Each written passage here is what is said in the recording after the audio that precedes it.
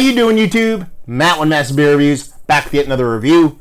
Uh, a little bit of farmhousey, collaborative, uh, hard to say beerness in the form of the Bruery. It's their Terreux. It's I'm gonna butcher the shit out of this, like I do most things. It's the Ingongo in Inongo Inongo. Anyway, it is a saison aged in oak foeder uh, with uh, New Zealand wildflower honey and lemon balm and chamomile added. Mm. Um, yeah, I have not had a Bruery beer in a million years. Uh, I can't tell you the last time I had it, but I wanted a chugger. I went to my local bottle shop and I was talking to one kid down there, and I was like popping around. And he was popping off a bunch of suggestions. He says, "How about this? You know, it's seven bucks. It's you know, it's, it's a chugger. It's not a big beer." And I was like, "Hell yeah, man! Thank you very much." So yeah, um, what else does it say in this bottle?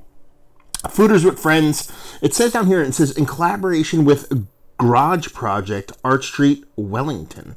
Um, I believe that's who they're collaborating with. And because on the back here it says brewed and bottled by the Bruery Terreux, uh, Placentia, California. And this is in collaboration with our New Zealand friends. Uh, this is bottle conditioned with wildflower honey. Um, got a little date stamp here. Kind of hard to see.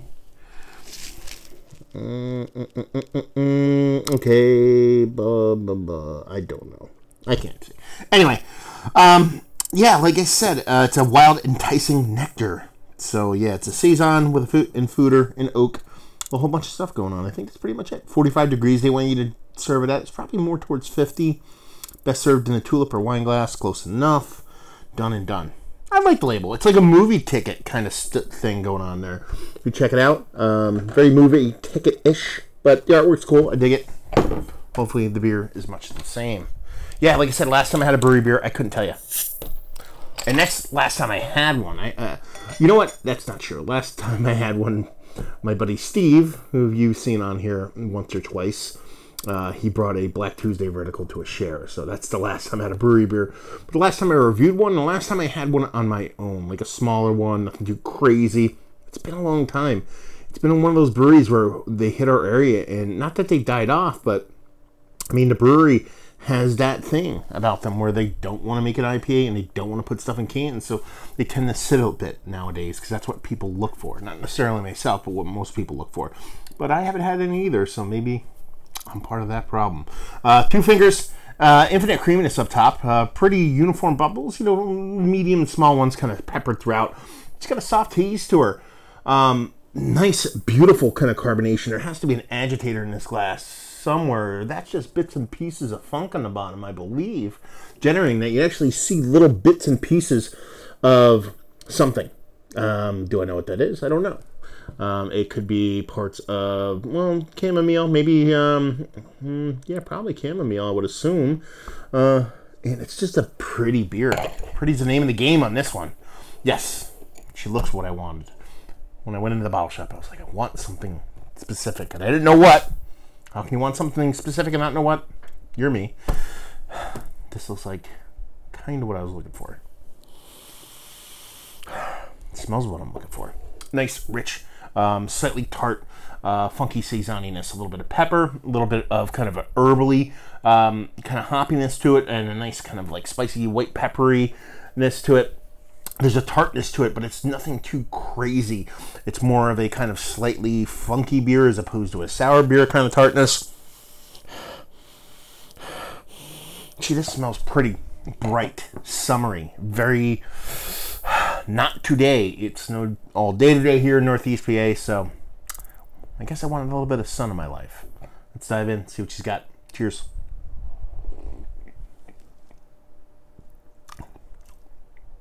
Ooh, it's interesting. It's got a really earthy vibe to it, very dirty. And this is a good thing, this is not a negative thing. That's the thing that jumps out to me. It has that bright kind of saison, um, typical peppery, spicy, little bit of funkiness to it.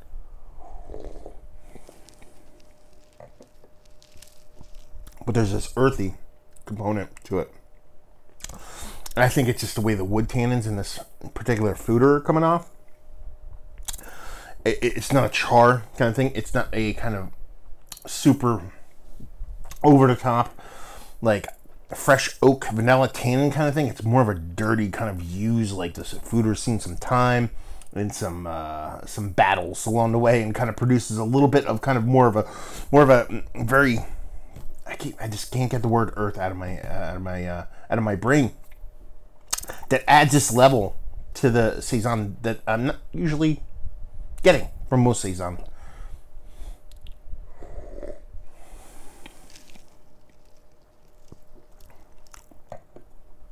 That's that's a chugger. That's what it is. I went into the bottle shop and said, I want a chugger. I want something with depth. I want something with layers, and I want to chug something.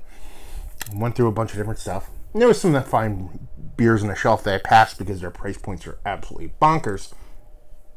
But I kind of knew what I was looking for, but I didn't. And but I wanted something new also. And uh, this is exactly hitting the spot where I wanted to kind of poke or brush or scratch, I guess you'd say uh, it, has got enough kind of uh, traditional kind of farmhouse vibes to it to kind of turn me on. While at the same time, it takes it a step further with a little bit of that tartness that's borderlining on acidity. Um, the wildflower honey, the chamomile, all those bits and pieces, they almost come off as a, a yeast thing for me. The honey, mm, it's not sweet, but it is kind of, I guess, use that as an extra sweetness to kind of brew the beer. I don't know, but I usually get a little bit of a kind of thick buttery vibe when I get a lot of honey in beers. I'm not really getting that here. Um, it's that added component of the foeder that really does it for me, though, because it, it adds that kind of, like I said, kind of little kind of sultry dirtiness to an otherwise super bright and super welcoming beer that makes it super tasty, fun, and super chuggable. I like this. I don't know what else to talk about it. There's so much going on, and I kind of feel confused by it. Those are some of the beers that turn me on the most. So yeah, I, I just like it. How about we go that there? Uh, like I said, what did I say? It was um, ABV wise, smaller beer, super chuggable, super drinkable. Good stuff. I mean, and that's the thing. The, the the wild portion of the Bruery show, the Terreux stuff, is typically fantastic. I just haven't picked any up, and this kind of makes me kick myself in the ass for not picking up more of it. Uh, so I'll have to rectify that. Um, so let's talk about it. It's one of the better uh, wood hit farmhouse beers that I've had as of late. Yes, I've had some pretty bad ones, um, as you can see if you want to go back and watch a review from a couple weeks ago. Um, but uh, this one's pretty damn fucking fantastic. I've had some other really good ones too. So um, yeah, definitely hit the spot for me. Valued availability, like I said, seven bucks, and it's sitting on the shelf for me. I don't mind that for these little kind of. It's not even a 750. It's more like a 375 milliliter bottle. I don't mind that, and leave you with if you like what will you like this. If you like uh, oaked beers, if you like saison, and if you like that kind of earthy kind of dirtiness, it's not hoppy earthiness. It's more of kind of just a terroir, terroir I guess you would say, thing, um, where it just tastes of a farm, if that makes any sense. And if those are the kind of things you dig, then you'll dig this. So there you go. Another review in the books. Down there if you want to talk about it. Uh, type Massive Beers in Google if you want to find me doing other stuff in the social media aspect. Type in Beer Massif, M A S S I F, into the Google, and you find me doing a podcasting thing. And there you go. So hopefully you guys enjoyed the review. Hopefully enjoying a nice Bruery beer right now, and hopefully see you next time. Cheers.